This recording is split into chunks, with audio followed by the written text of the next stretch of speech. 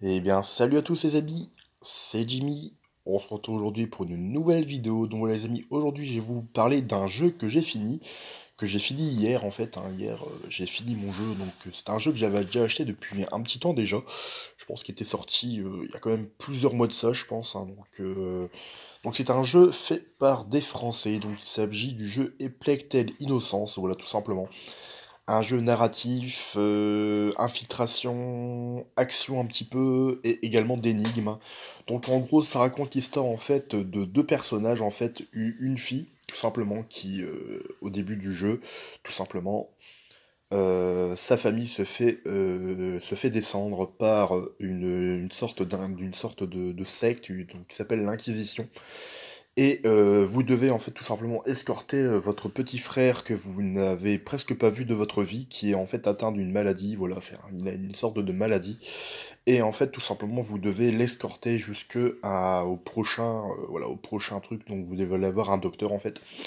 Et voilà, c'est un petit peu le pitch de l'histoire, en fait, tout le long du jeu vous devez un petit peu escorter votre petit frère. Et en gros c'est un jeu en fait franchement excellent. Euh, c'est le cas de dire, le jeu est excellent, franchement, c'est un super jeu avec une super bande son, une super DA, une super euh, l'immersion est vraiment totale. Ce jeu-là, en plus, c'est c'est même pas un triple A, c'est un jeu double A. Et franchement, euh, graphiquement, le jeu est quand même assez euh, assez réussi quand même graphiquement. Il a son style à lui, il a son petit style un petit peu un, style un peu euh, euh, comme si c'était du papier, comme si c'était du, du dessin comme ça, mais euh, c'est vraiment très joli, je trouve.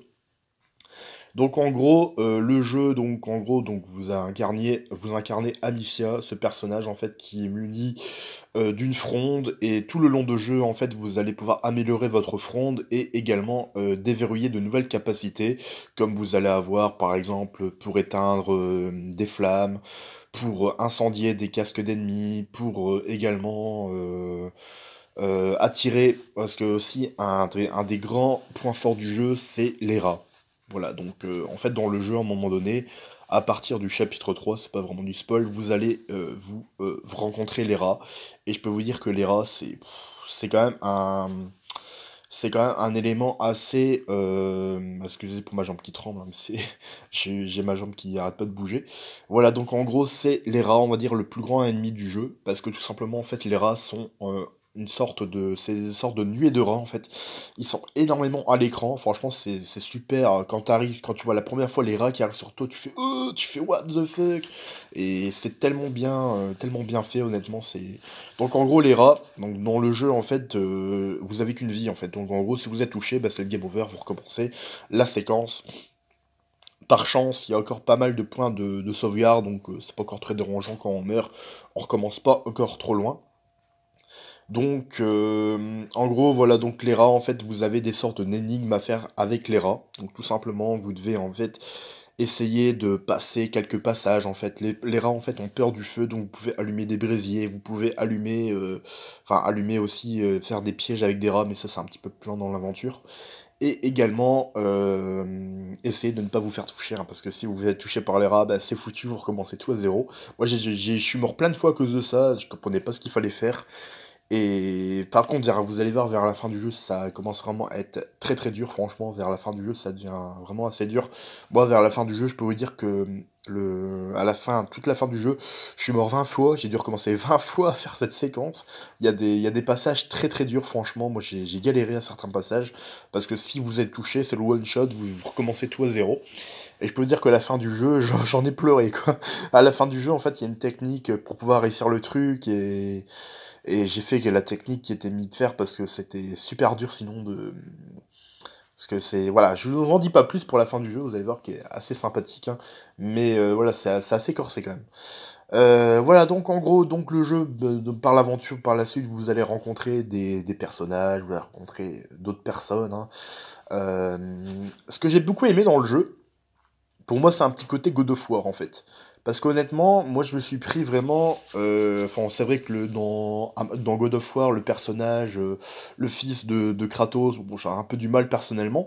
Mais là, pour le coup, euh, le personnage dans ce jeu, donc qui s'appelle Hugo de Rude, hein, donc tout simplement, le personnage est très sympa, franchement. Et aussi, bah, ce qui est vraiment excellent dans le jeu, c'est la VF. Parce que vous, avez droit à une VF, il n'y a pas à lire, et ça c'est excellent. La VF est juste excellente, franchement, la VF est vraiment nickel. La VF, il y a vraiment des voix qui sont vraiment toutes mignonnes et les voix sont vraiment très très euh, très très bien, franchement, pour le coup.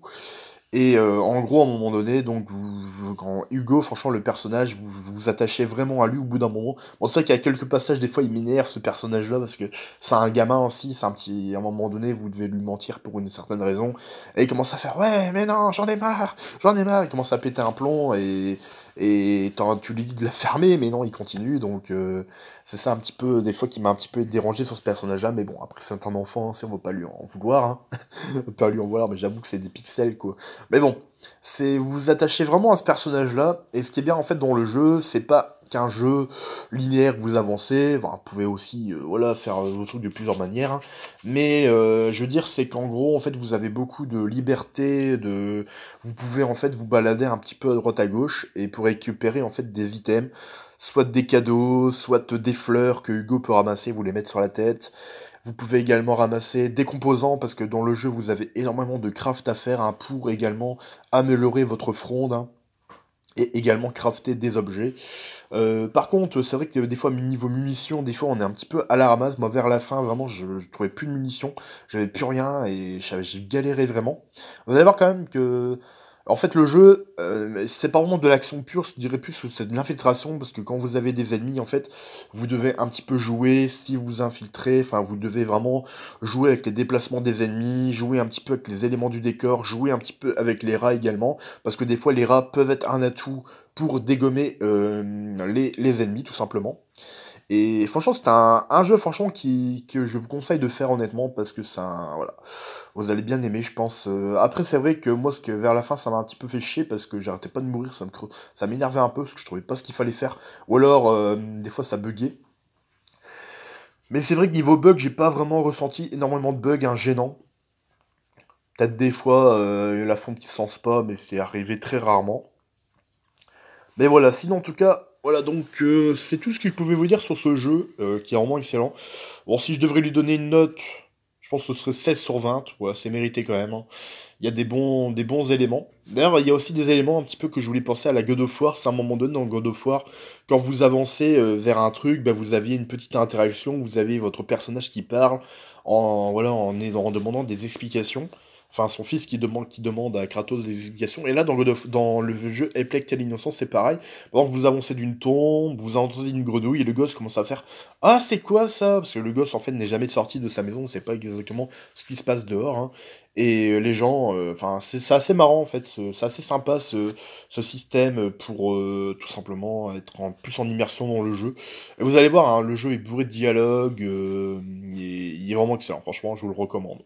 Du coup, voilà, les amis. Donc, c'est tout ce que je pouvais vous dire sur ce jeu, bah, qui dure, qui a quand même 17 chapitres, il dure quand même un temps.